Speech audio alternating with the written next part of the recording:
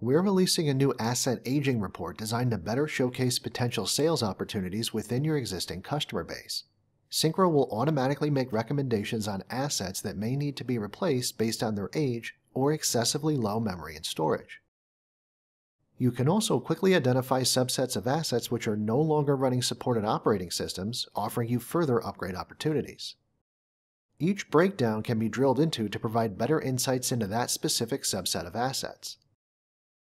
Down below, you'll find a more detailed breakdown of each category, along with the ability to drill into each specific asset if the need arises. This report can also be filtered and scheduled on a per customer basis, meaning it can make a great companion document to bring along with you when you make your hardware upgrade proposals. So that's our new asset aging report, available starting today.